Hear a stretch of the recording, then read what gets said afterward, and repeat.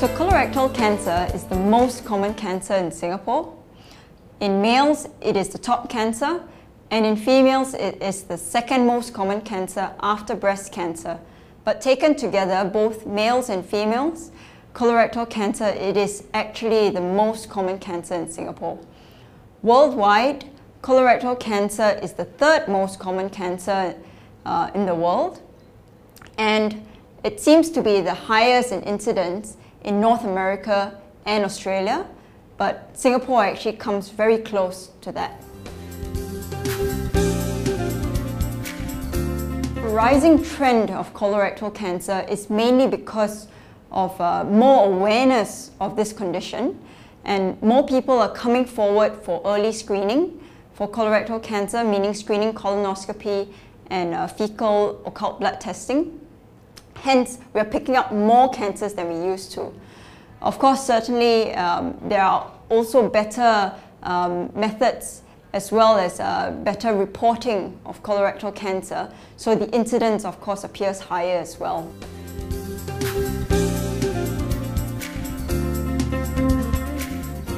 Eighty percent of colorectal cancers are sporadic, meaning that 80% of our patients who come with colorectal cancer actually do not have a family history of colorectal cancer and they do not have any known risk factors.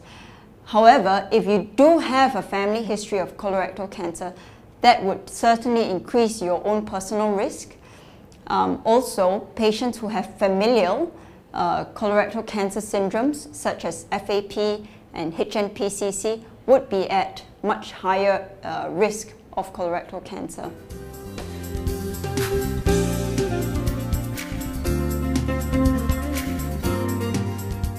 Colorectal cancers, when they first start off, are very often asymptomatic. But if a patient experiences symptoms such as finding blood in the stools when they pass motion, or if they have a change in bowel habit, we would certainly encourage these patients to come forward quickly for an evaluation. Other signs and symptoms would include uh, abdominal discomfort or pain, uh, having loss of weight or loss of appetite for no reason, uh, as well as feeling a lump or a growth uh, in the abdomen.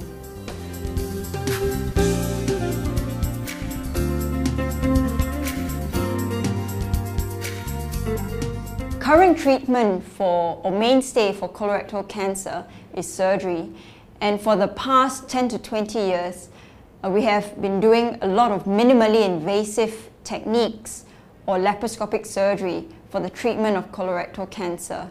And probably what is the most uh, exciting uh, in this current day and age would be uh, minimally invasive techniques such as robotic surgery for robotic colorectal resections.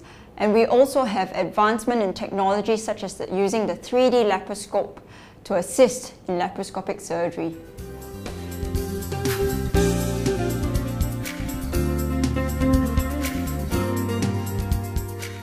The colorectal department in SGH has always been in the forefront of research, um, as well as uh, also in public education.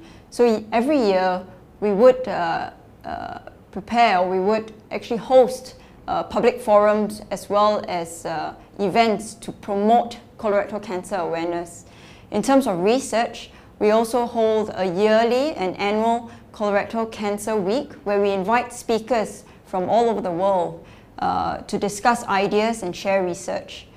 Uh, we also have uh, been very active. In fact, we came up with the colorectal polyposis registry, which manages patients with familial colorectal cancers, as well as our colorectal cancer database.